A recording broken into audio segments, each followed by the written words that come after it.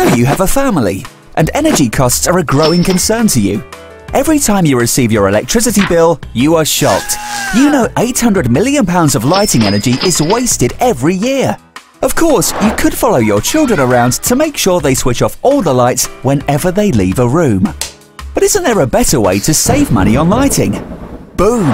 Introducing the Ceiling Rose Motion Sensor.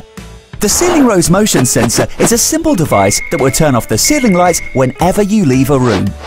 Since it is placed centrally in the room, it can sense the slightest movement, turning lights off automatically if no one's there.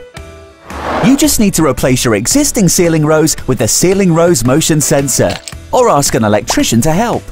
That's it. No more wasting energy or money, and you'll also be doing your bit to cut your family's carbon footprint. And that's great. Ceiling Rose Motion Sensor. Lights off, energy saved.